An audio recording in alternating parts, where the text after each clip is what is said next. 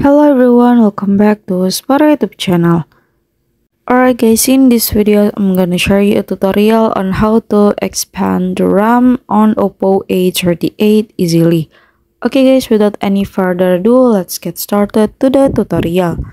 Okay guys, so first thing first that you have to do is you can go to settings menu first on your phone and then you can scroll down till the bottom and go to about device you can click for it and as you can see that oppo a38 is actually equipped by 4 um, gigabyte but now you can expand it into 2 gigabyte or for maximal is 4 gigabyte so the result is 8 gigabyte for your RAM.